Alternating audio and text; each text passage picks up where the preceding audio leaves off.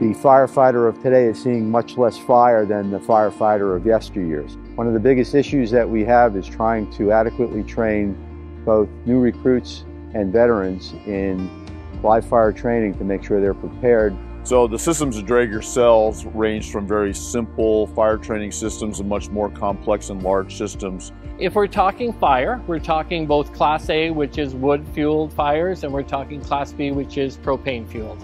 What we want to do with in training is really try to provide good realistic fire behavior training. One of the best ways to do that is by using Class A fuels. You know, we're producing real legacy fire scenarios where you have the heat, the smoke, and the capability to flash over uh, that they're going to see out in the real world when they respond. The, uh, the Draeger Phase 1 is a flashover multi-level simulator that's really a fire behavior laboratory.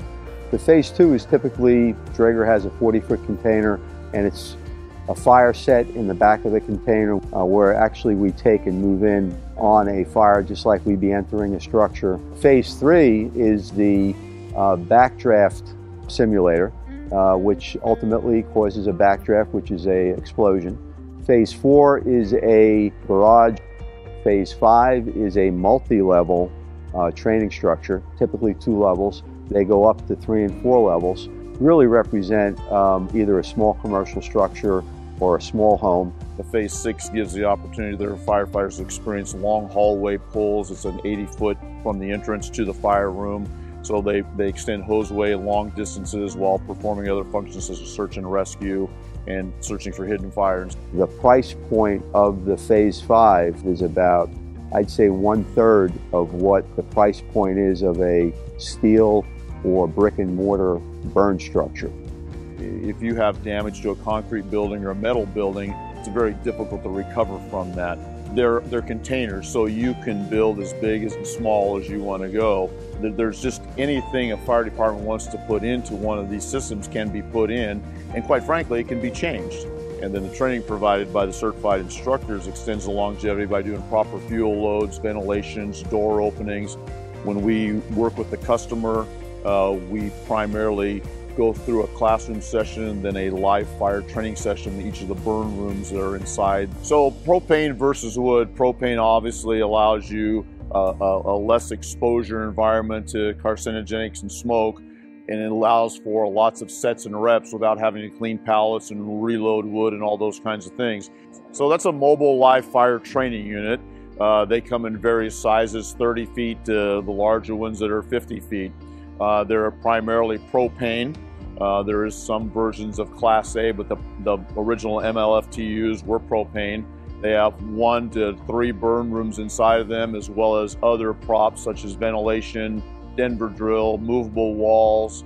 Just all kinds of different things can be done in there. And again, it's up to the customer, whatever they would like to have that fits their region or their needs.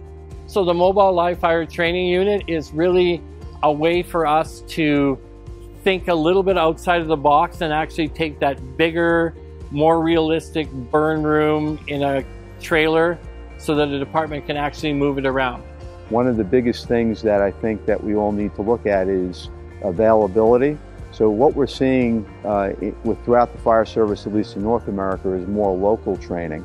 If we think about the Tudor, it's really designed for a smaller fire with the ability to demonstrate the use of fire extinguishers. When we move up to the System 64, now we have a four foot by six foot burn pan that we can put a number of different props on that interchange and allow us to have a little bigger fire. So now I can actually get fire departments thinking hose attack versus extinguisher attack. Yeah, there is a large variety of props available for the System 64 from a car to uh, what soon will be a readily available half-ton truck. Uh, we do a propane tank, we do a barbecue. And what's nice about that, it's something that I could roll out of the, uh, the garage or storage, set up, and immediately go to work. And if you had a special need, we'll actually customize a prop to meet your needs so you can fight that type of fire. In addition to that, we have um, what's known as the quad, which is a, uh, a much larger pan where we put kind of industrial props on top of that, such as flange fires. We also are very big at Draeger into interior gas props. So we've got couches, beds, all sorts of um, interior props that include rollover props with, with propane. D-Pod's a little bit of a different product. It's kind of one of those specialized products. It was originally designed to meet the requirements of the industrial side of the market and really for confined space. And what that D-Pod does is allow people to think about confined space, how to rescue somebody in a confined space situation, Outside of that, we also do things like the maze, which we had at FDIC this year. You know, these mazes, what they call training galleries, uh, offer a fire department a, a lot of options. It's SCBA confidence course training.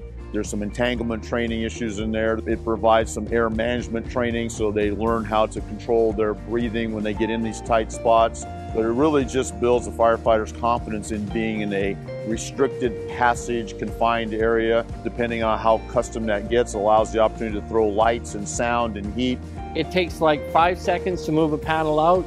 I can change the full path. I can change obstacles in there. It can be a very simple process to get through it, or it can be a very difficult process, so if you will, basic to advanced. It's always a new experience every time they go in. Service is a big part. It's available with everything that we do, and we're always willing to, to go that little bit extra to make sure that what they need is what they get. We've been committed to firefighter safety ever since the first BA that was invented.